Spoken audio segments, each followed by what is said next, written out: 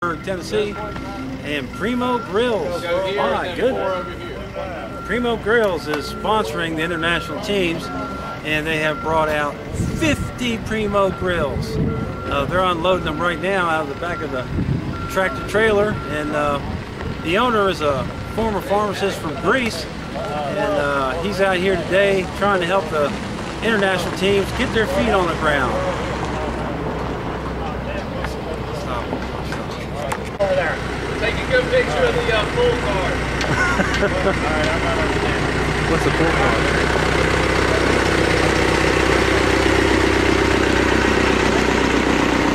Okay, folks, here we are, they're unloading the grills. They got a big old Caterpillar backhoe back there, just went by, and they're uh, they got 50 grills they're putting out there. I just heard them say they're taking one to the Puerto Rican team. Uh, I'm not sure. I'm pretty sure that the uh, German team that's here, there's an English team. Uh, they'll all be getting uh, Primo grills. Primo grills uh, made out of porcelain.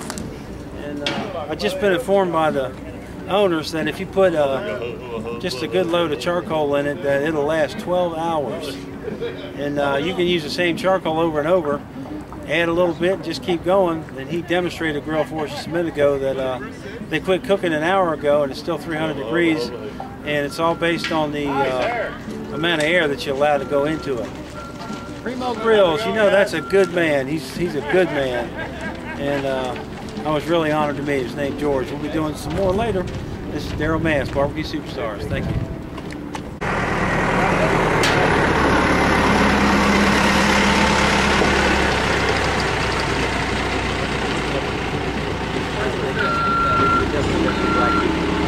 iya yeah.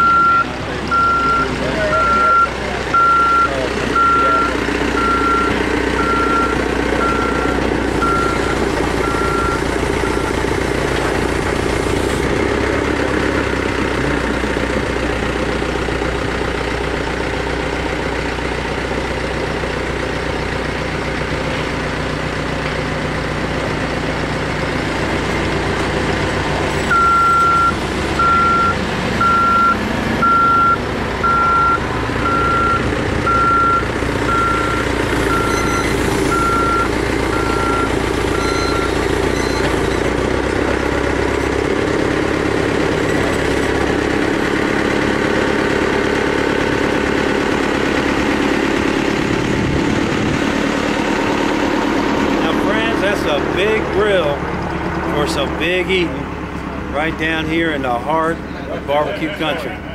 Number one competition in the world, got international teams.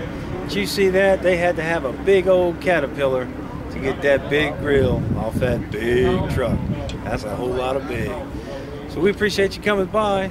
BarbecueSuperstars.com. My name's Daryl. Thank you.